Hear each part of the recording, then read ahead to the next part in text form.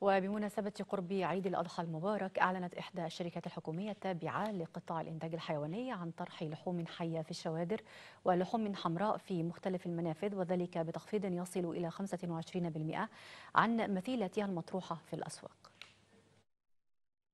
الحكومة عبر شركة الصالحية للإثمار والتنمية كواحدة من أزرع الدولة العاملة في قطاع الإنتاج الحيواني برئاسة اللواء أحمد مجاهد.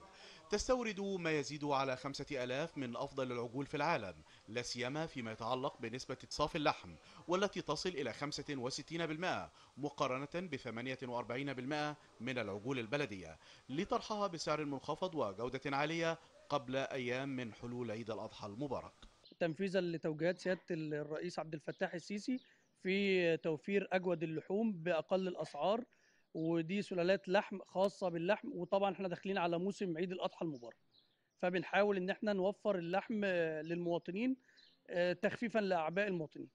عبر هذه المنافذ المختلفة على مستوى الجمهورية تطرح الدولة منتجاتها من اللحوم الحمراء الطازجة وكذلك هذه المحطات والشوادر التي تعرض بها اللحوم الحية بأسعار تقل عن مثيلتها في الأسواق بمقدار يزيد على 25% قبل طرح اللحوم الحمراء في الأسواق تخضع لرقابة وإشراف بيطري كامل داخل شركة الصالحية خلال هذه المجازر الآلية ضمانا لجودتها وسلامتها وحفاظا على صحة المواطنين.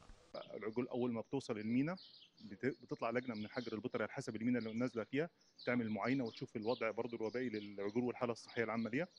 بعد كده بتدخل المحجر اللي هيتم الحجر فيه. مدة الحجر بالنسبة لعجول التربية زي اللي هنا 40 يوم. في خلال ال 40 يوم دول الإدارة المركزية عاملة برنامج برنامج تحصينات وبرنامج سحب عينات عشان خاطر يتم يتم التأكد من خلو الحيوانات دي من كل الأمراض المعدية أو الأمراض الوبائية. محمد عبد الصبور للتلفزيون المصري.